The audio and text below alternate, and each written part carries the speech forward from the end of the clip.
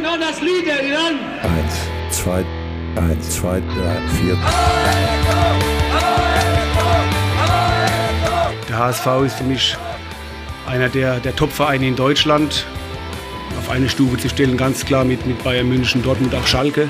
Wenn man so will, seid ihr am Ziel einer langen Reise. Ist ja klar, ihr spielt halt meistens Scheiße mit riesigem Trainerverschleiße. Die Flaute im Herzen, dem Dino fehlt Begeisterung. Bergab, kein Antrieb, kein Schwung. Zu wenig Mut auch. Wir wollten euch nur mal eben fragen, seid ihr faul oder einfach schlecht? Schlecht. Ganz schlecht. Sehr, sehr, sehr schlecht. Und sicherlich werdet ihr dann sagen, weder noch. Wir hatten einfach Pech. Hat auch mit Disziplin zu tun. Wenn man so will, ist eure Abwehr eine Chill-Out-Area.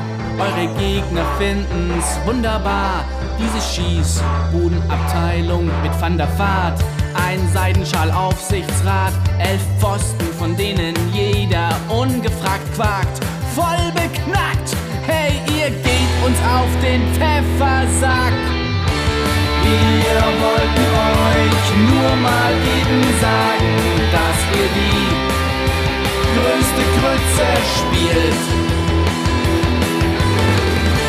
Die Hose voll und die Flasche leer, na dann viel Spaß im nächsten Jahr. Das war schon alles. Noch nicht ganz. Hier ist das Schlusswort von HSV-Urgestein Charlie Dörfel. Das ist eine sterbende Sau.